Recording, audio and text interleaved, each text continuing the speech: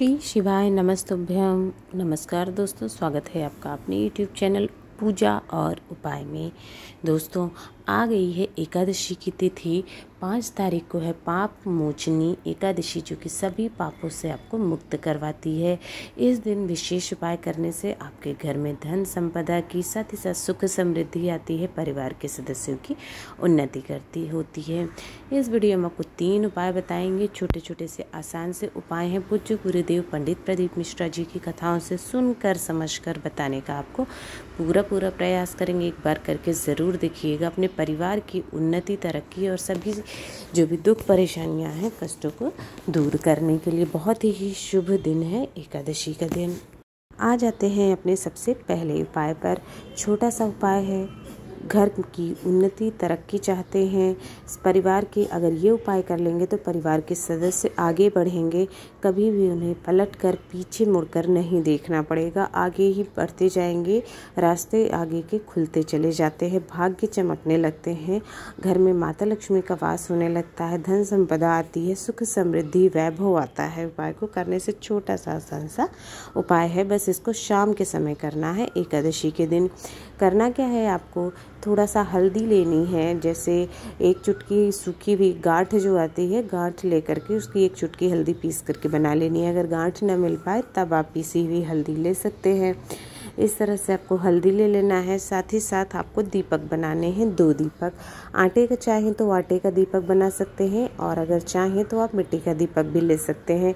दो दीपक बनाने हैं और घी के दीपक साथ ही साथ गोल बाती के होने चाहिए। कोई भी दीपक लंबी बाती का नहीं होगा। दोनों दीपक गोल बाती के रहेंगे। शाम को जाना है आपको तुलसी माता के पास, जहाँ कहीं भी आपने लगा रखी होगी। जब आप वहाँ पहुँच जाएँगे तो आपको थोड़ा सा तुलसी माता से आगे उन्हीं के थोड़ा नीचे ही दो जगह पर बगल बगल में हल्दी नीचे आसन देना है, हल्दी रखनी है, ओम नमो भगवते वासुदेवाय कहते हुए। तुलसी को छूना नहीं है एकादशी के दिन। थोड़ा सा दूरी पर ही रख दिया और उसके ऊपर आपको दोनों गोल बाती के दीपक रखने हैं, उस हल्दी के ऊपर, और प्रज्वलित कर देने हैं। जो दोनों दीपक आपने जलाए हैं, वो किसके लिए? एक दीपक तो आपने तुलसी माता के लिए जलाया है, और दूसरा दीपक जो है, वो श्रीहरि विष्णु भगवान के लिए होता है। दोनों दीपक जलाते समय ओम नमो भगवते वासुदेवाय मंत्र का जप करना है, और प्रार्थना करनी है। हमारे परिवार में परिवार में आपका वास बना रहे, आशीर्वाद दीजिए, आपका कृपा दृष्टि हमेशा बरसती रहे, सुख समृद्धि का वास हो परिवार के लोग आगे बढ़ते रहे, पूरे परिवार के लिए आपको ये कामना करनी है। छोटा सा उपाय है, आसान सा काम है, आपको करना है कि किसी भी एकादशी के दिन आप ये छोटा सा काम कर सकते हैं। आते हैं दूसरे उपाय पर। दूसरा उपाय है, अगर आप चाहते हैं कोई काम कर रहे हैं, उस काम में आपको सफलता मिले, कैसा भी काम हो। जैसे अगर आप डॉक्टर के यहाँ जा रहे हैं तो आप चाहेंगे कि हमारी रिपोर्ट जो है, वो सब मतलब अच्छे से आए, कि उसमें कोई बीमारी कुछ ऐसा ना निकले, या बीमारी के लिए दिखाने जा रहे हैं तो सब सही सही आ जाए रिपोर्ट। ऐसे सब कामना करते हैं। नौकरी को जाते हैं तो सोचते हैं कि उन्नति हो, तरक्की हो, या प्रमोशन मिल जाए, व्यापार चला रहे हैं तो उसमें सफल हो जाए। ऐसे जाते जो काम आपका सफल होने के लिए आप कामना कर रहे हैं।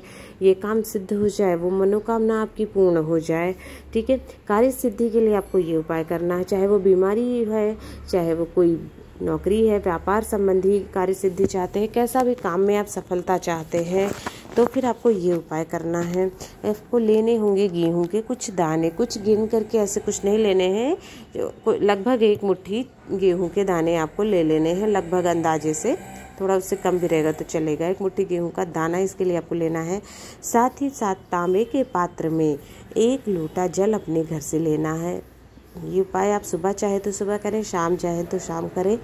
ले करके चले जाना है शिव मंदिर शिवलिंग के पास में। जब वहाँ पहुँच जाएँगे तो सबसे पहले उत्तर दिशा की तरफ़ मुँह करके खड़े हो जाना है और एक लोटा जल जो लेकर के गए हैं, वो आपको चढ़ा देना है चंपेश्वर महादेव का नाम लेते हुए। किसका? चंपेश्वर महादेव का नाम लेते हुए स्मरण करते हुए एक लोटा जल सबसे पहले चढ़ा देना है। उसके बाद जो गेहूँ आप लेकर के गए हैं, वो भी आपको सीधे शिवलिंग के ऊपर वो गेहूँ चढ़ा देना है। श्री शिवाय नमस्तुभ्यम या हर हर महादेव, ओम नमः शिवाय कहते हुए चढ़ा दिया। अंत में जो भी आपकी कामना है, मनोकामना है कार्य सिद्धि के लिए, जिस भी कार्य के लिए आप ये उपाय कर रहे हैं, प्रार्थना करनी है कि ये काम हमारा सिद्ध हो जाए, इस काम में सफलता मिले, ये काम अच्छे से निपट जाए, ऐसे आपको प्रार्थना करनी है। छोटा सा उपाय है, एकादशी के दिन शाम को आप ये कर लेंगे तो बहुत ही लाभ होता है। आते हैं अपने अगले और तीसरे उपाय पर। यह उपाय है, अगर आप घर में किसी की आयु बढ़ाना चाहते हैं, किसी की या फिर बच्चे की हो गई, बड़े की हो गई, कि हमारा बच्चा आगे बढ़े, तरक्की करे, उसकी आयु लंबी हो, स्वस्थ जीवन हो, उसके लिए करना चाहते हैं, या फिर पूरे परिवार के सदस्यों के लिए चाहते हैं कि उनका स्वस्थ रहें सभी और आगे बढ़ें, साथ ही साथ उनकी आयु में वृद्धि हो, स्वस्थ के के लिए और आयु में वृद्धि करने के लिए आपको ये उपाय करना चाहिए अपने परिवारजनों के लिए, इस परिवार के किसी भी सदस्य के लिए परिवारिक जनों के लिए, ठीक है? ये उपाय करना है। लेना होगा आपको थोड़ी सी भस्म, बहुत आसानी से पूजा पाठ की दुकानों पर छोटे छोटे पाँच दस रुपए की डिब्बी या पाउच में, पैकेट में मिल जाता है भस्म। तो वहाँ से आपको भस्म ले लेना है। अब एक धतूरा लेना है, ये भी आपको फूल पत्ते की दुकानों पर मिल जाएगा। एक धतूरा ले लेना है। लेकर के आपको उसे भस्म जो आपने लिया है, उसमें अच्छी तरह से धतूरे को लपेट लेना है कि पूरा धतूरा सफ़ेद जैसा हो जाए। मतलब पूरे धतूरे पर बहुत अच्छी प्रकार से लपेट लेना है। लपेटने के बाद उस धतूरे को लेकर के आपको पूरे घर में अच्छी प्रकार से घूमना है। हर जगह पर आपको घूमना है और अपने जो भी आपका गोत्र है, आपके परिवार का, उसको स्मरण करना है। गोत्र का सदस्यों का नाम भी आप चाहे तो सदस्यों का नाम ले सकते हैं या किसी एक के लिए कर रहे हैं तो उसका नाम और गोत्र बोल सकते हैं, नहीं तो सभी सदस्यों का नाम बोलना है, गोत्र बोलना, पूरे घर में घूमना है, उसको लेकर के इस कामना के साथ कि हमारे सदस्य, घर में रोग बीमारी ना हो, घर के सदस्यों की आयु लंबी हो, सभी रहें, ऐसी कामना करते हुए घूम जाना है और उसके बाद ये उपाय चाहे तो आप घर पर भी कर सकते हैं, चाहे तो मंदिर जाकर भी कर सकते हैं। सुबह चाहे सुबह करें, शाम चाहे तो शाम ये उपाय कर सकते हैं। मान लीजिए मंदिर में आप चले गए तो सबसे पहले आपको एक लोटा जल श्री शिवाय नमस्तुभ्यम कहते हुए चढ़ा देना है। उसके बाद जो आप धतूरा लेकर के गए हैं, वो धतूरा भी आपको शिवलिंग के ऊपर आपको चढ़ा देना है, रखना है। बस एक नियम का ध्यान रखना है, जब धतूरा चढ़ाएँगे तो डंडी जो है वो माता अशोक सुंदरी की तरफ़ होना चाहिए और आपकी तरफ़ जो कांटे होते हैं, धतूरे का मुख होता है, उस तरह आपकी तरफ़ होना चाहिए। डंडी बस माता अशोक सुंदरी की तरफ़ इस प्रकार चढ़ाना है और अपनी कामना, मनोकामना करनी है कि हमारे इस सदस्य की आयु लंबी हो, दीर्घायु हो, स्वस्थ जीवन जिए, ऐसी प्रार्थना, कामना करनी है। हमारे परिवार के सदस्यों पर आपकी कृपा दृष्टि बनी रहे दीर्घायु सभी इस तरह से कामना करनी है।